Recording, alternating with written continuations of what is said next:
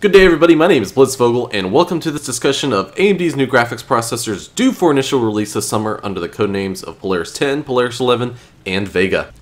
Now if you're like me, you're excited about the prospects of AMD returning to form, releasing competitive products that give Nvidia a run for their money in terms of raw processing power, value, and power efficiency. Please don't get me wrong, I do not hate Nvidia, but I really much appreciate a competitive landscape as it helps to keep innovation high and prices low.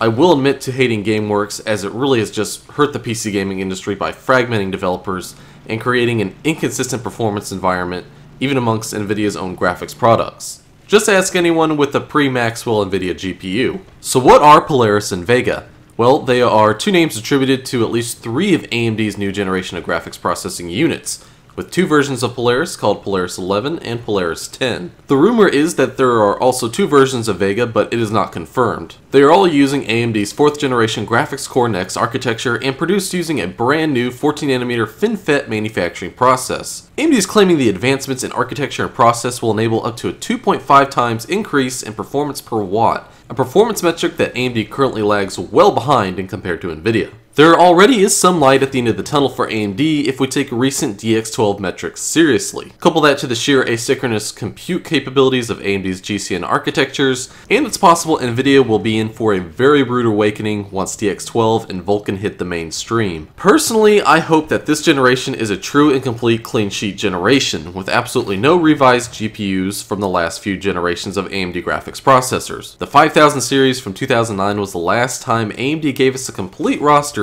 of new graphics processors.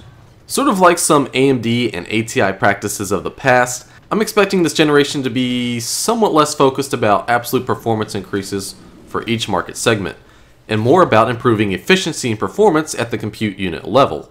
Performance increases should be the result of that focus on efficiency and making the most of those latent G-flops AMD's graphics processors are capable of computing. The awesome performance increase potential thanks to asynchronous compute is one very good example of this. Starting with Polaris 11, it should be AMD's low-end GPU for 1080p gaming, a market successfully dominated by NVIDIA GTX 950s. Polaris 11 is rumored to feature at least 1024 stream processors with a 128-bit memory bus which does sound an awful lot like an NVIDIA GTX 960 and will very likely meet if not exceed the GTX 960 in high clock variance, or at least I hope so. 4th gen GCN should have massive bandwidth efficiency improvements over previous versions of GCN like NVIDIA Maxwell did over Kepler. As a preview of Polaris's efficiency in terms of power per watt, AMD at CES this year pitted a GTX 950 gaming system versus one with Polaris to show the sheer differences in power consumption from the outlet while maintaining performance parity. However, AMD never confirmed which version of Polaris was used in this test, but in all likelihood it was indeed Polaris 11. Personally, I think the 1024 stream processor number sounds like a cut down version, and I'm expecting a full version to feature at least 1280 stream processors, or even more. I also very much expect 4th gen GCN to scale to very high GPU clocks in the 1300 to 1500 MHz range without a too high increase in power and heat.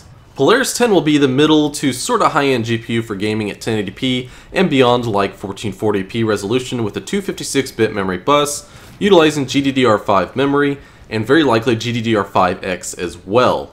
The Polaris 10 market is currently dominated by variants of the exceedingly successful GTX 970, and very high-end versions of the GTX 960. Two GPUs that stormed in to sweep up a very large share of the graphics card market. Stream processor counts for Polaris 10 could be as high as over 3000, but my gut feeling is probably something similar to AMD's Hawaii, with the top end at 2816 stream processors. Cut down versions of this GPU could be as low if not lower than 2000 stream processors to fill in the gap between it and Polaris 11. Depending on 4th gen GCN's improvements, Polaris 10 could very possibly take on the GTX 980 while using vastly less power. Although this is a best case scenario, but it's certainly a possibility. Many of us were hoping Polaris 10 would use high bandwidth memory, but it will not because of its expense, so it will be limited to GDDR5X at the top end, and expect 8GB of video memory as standard. Finally, we have Vega, which is slated to have 4096 stream processors, just like AMD's top-end Fiji GPU used in the Fury line of graphics cards that currently competes directly against NVIDIA's GTX 980 and 980 Ti products. Fiji was a debut of high bandwidth memory, while Vega will use second generation HBM2. HBM2 memory densities allow for at least 8 gigabytes of memory, while Fiji is currently limited to 4. Cut down versions will serve to close the market between it and Polaris 10, bringing high bandwidth memory and good enough 4K performance closer to the mainstream gaming market. Vega, like Fiji, will be marketed heavily for 4K and virtual reality, as the latter is very dependent on high and smooth frame rates with extremely consistent frame pacing. So once again, these are not confirmed facts and should be taken with a grain of salt. However, they are sensible predictions backed up by rumors and some credible sources, combined with information directly taken from AMD. AMD also has to continue its intense focus on delivering excellent drivers and maintaining productive relationships with software developers to deliver great performance regardless of the graphics product.